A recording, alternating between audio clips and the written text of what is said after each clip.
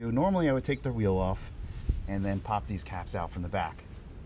But I wanted to offer something for some of you guys who don't feel like taking your wheels off to uh, do this job. So I went online looking for different ways to do it. And my favorite one was to take a drill and a screw and screw it into the center cap and then use a pair of pliers to yank it out. Um, that is not going to happen. I purchased uh, Scotch Extreme mounting tape and I'm going to clean this center cap with alcohol and then dry it off. We're going to leave the backing on it and we are going to so we're going to leave the backing on it. We're going to fold fold it into a little handle. We're going to put it on each side of the Dodge logo like that. And we're going to push down really hard. I don't even know if this is going to work. But honestly, I'm hoping this works out well. Got a little bit of time to bond. And the reason we're leaving the backing on is because this tape is stretchy, so you know, I want to leave the backing on to get a little extra um, a little extra strength out of it. All right. What do you guys think? You think it's going to work? A good yank. That did not work as planned. I guess we're taking the wheel off. Alright, so today's going to be a quick video about uh, jacking up the rear of the car, which I haven't covered in any of my previous videos. Uh, jacking the front of the car is covered in my oil change video, which I'll drop in the upper right corner.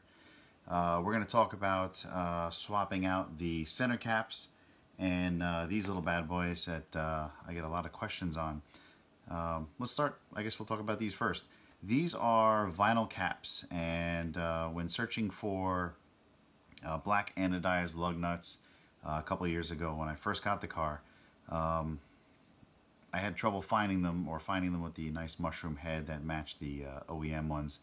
Uh, so for a show, uh, I wanted to get some, some kind of covers for them. So I found a site online that sold these and, um, you know, they were in colors and they were pretty cool, but I wanted black and they looked very familiar. Uh, something I used in a previous job. They, uh, like a tube cover. You have a plastic tube and you put these things on the end of it to seal them up. And uh, I went on to McMaster-Carr and sure enough, I found these.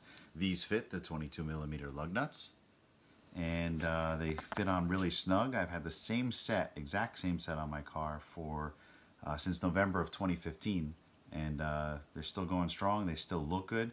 They, I, I always wash my car with uh, suds, so I don't actually use any type of chemicals on my wheels. I did try chemicals once and they didn't have any effect on the vinyl caps so I would say maybe they're safe to use but on a day-to-day -day basis I actually haven't tested that so but these are pretty cool they fit on really snug they do add an additional uh, couple steps to pulling these off uh, I take my wheels off about uh, twice a month during the season to clean them and um, you know you have to use an interior tool which I'll show right now to just kind of wiggle these off a little bit before you get them out. So what I would recommend is carrying that same interior tool in your trunk. This way, if you ever need to do a roadside fix, you have something to pop these off. They do sell special tools. If I do find one uh, that does not scratch the rim, because the one that they do sell uh, looks like it's going to scratch my rims, um, I will eventually follow up on this video. But anyway, these are the vinyl caps. You get 100 of these for $8, which means that uh, you have a couple sets to share with your friends as well and uh, that's pretty cool. Quick, cheap, easy mod to uh, pop on your black rims. Now let's talk about these guys. Uh, this is my uh, cheap uh, China Dodge. These were going for 30 bucks a piece at the time that I wanted them, and I wound up finding these in China for $8, so I wound up buying uh, a set of four for 8 bucks. It took a couple weeks to get here, but they never matched. They always looked a little bit too shiny. So uh, when these came out on the 2016, or no, sorry, the 2017s, I uh, basically started drooling over them. So I bought a set, and would you believe it? I bought the wrong set. These are the Hyper Black 2s. They got a little bit of uh, sparkle to them. They're a little more gray than the, uh, you know, my original uh, 2015 uh, black lightweight wheels. So I bought another set, and sure enough, these are perfect. These are nice satin black.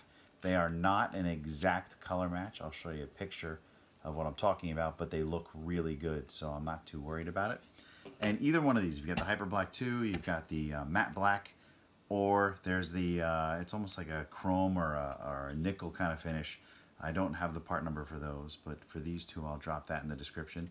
But uh, for those of you who are into customizing your stuff, uh, both of these you can pop off the uh, cover plate and you can paint or wrap the, uh, you know, the rhombus in the center. I have a video on that, which I'll drop in the upper right.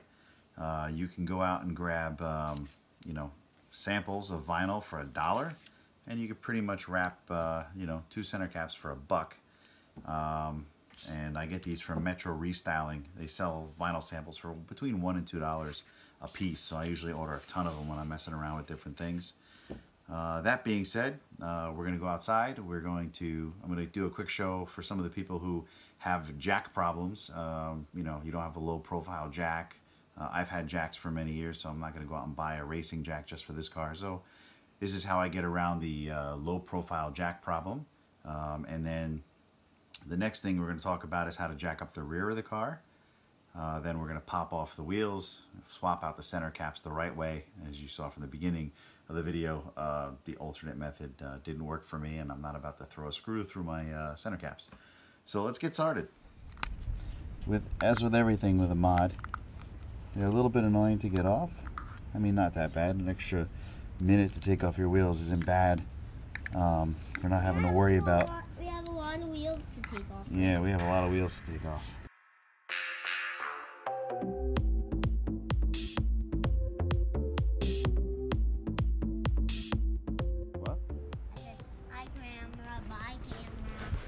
First thing you want to do is chuck your wheels. You have one in the back, one in the front. Unfortunately, I don't have two rubbers, so then we're going to come around here.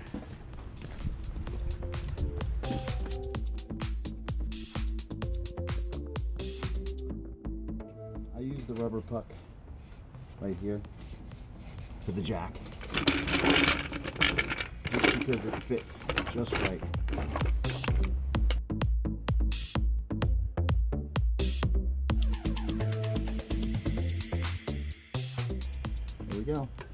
We are off the ground.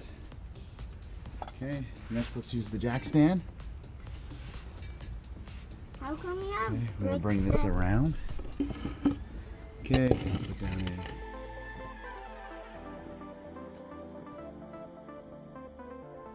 So we got the cutout right here. I'm gonna put in our jack pad.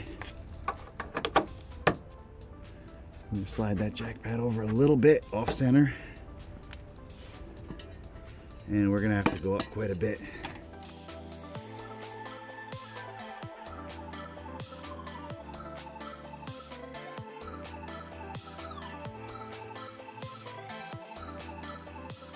and then we're to rest it on both the jack pad, the jack stand, and the jack. There we go. And that's it. Now the reason I do it in reverse is if you try and put the jack stand on this pad for some reason, the jack gets in the way. But in this configuration, the jack stand and the wheels of the jack don't cross each other. In the other configuration, they kind of hit into each other. All right.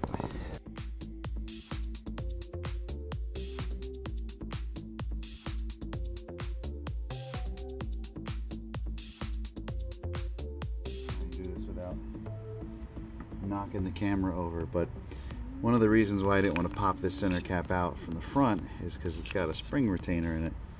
So we need to get that out first.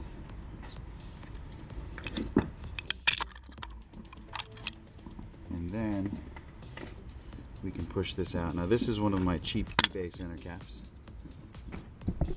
Not eBay, sorry. This is a uh, cheap China center cap. Um, over a year old, no issues whatsoever, but it never matched. Exactly. Now these rims are dirty, but uh, I'll show you afterwards. Never matched. It was always super shiny while the rims had a nice satin finish. So we're going to uh, wash these puppies up, wax them up, and then put the new ones on.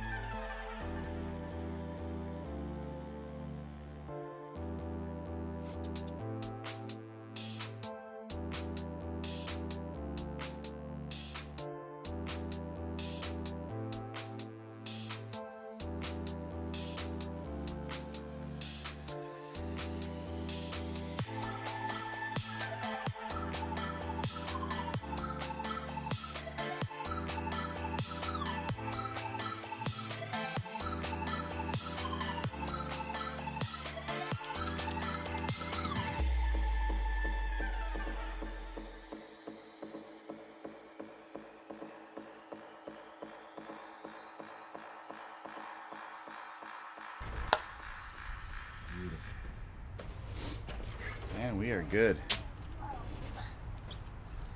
Very happy with that. What do you think? Cool as baloney, man. Cool as baloney. If you have any questions on the tools I use to make this video, I will have my Amazon associate links in the description. Using these links will of course help my channel out in a small way. The jacks and jack stands I've had for years. Um, if you get a pair, just remember the Challenger weighs close to 4,500 pounds, so make sure your jack and stands are adequate. If you have a torque wrench, be sure to torque your wheels down. The lightweight aluminum wheels with the stock lugs should be torqued at 130 foot-pounds as per the 2015 Challenger manual. Be sure to check the manual for your specific model year for the torque specifications.